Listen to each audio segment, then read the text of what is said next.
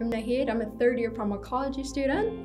I really started loving this course in second year when I did my first pharmacology paper. It's so interesting how broad pharmacology is, how different drugs act differently in the body, in different people, um, different parts of the, um, the body. So that was super interesting. And it's um, super special to be in Dunedin because it's such a student-friendly place.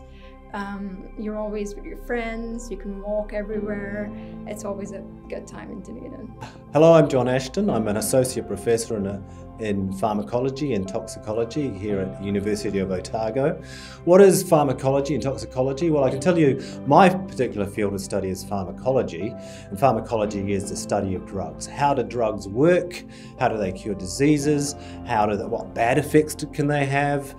And uh, how do they how they processed as they go through our body, as they enter our body and leave our body. So that that goes into uh, medicine, it goes into pharmaceutical sciences, and it goes into a wide range of other social concerns like. Um, uh, drugs of abuse, uh, controlled drugs, um, new medicines, and, and how people access them.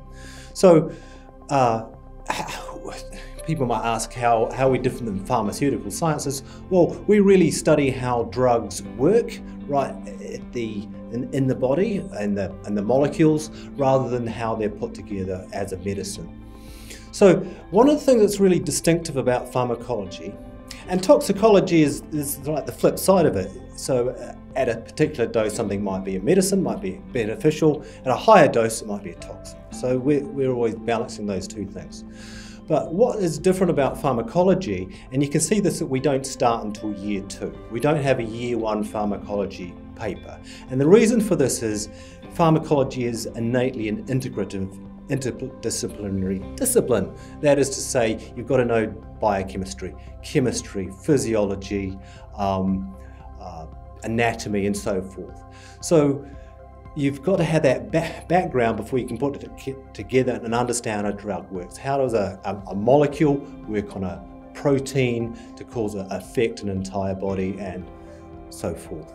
So you've got to be able to think about these different fields. So we start at year two.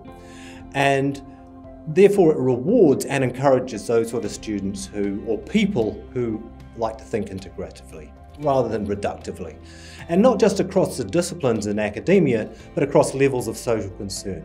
So you've got the, the pure research, the curiosity driven stuff, you've got the how does this help people um, in society, there is the public policy, how do we regulate this drug, is it going to be a problem, is it causing people to die or become addicted, and then there is a development of, of course, new drugs, drug discovery.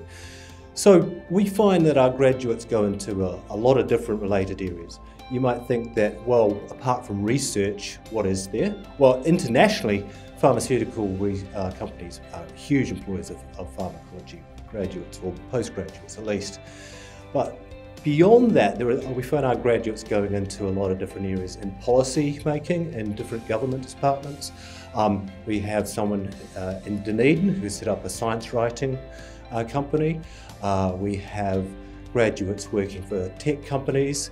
We have, um, and startups, we have uh, graduates working as uh, sales and technical representatives for pharmaceutical companies in, in, right here in New Zealand. So there's a wide range of positions that that expertise in pharmacology can give you.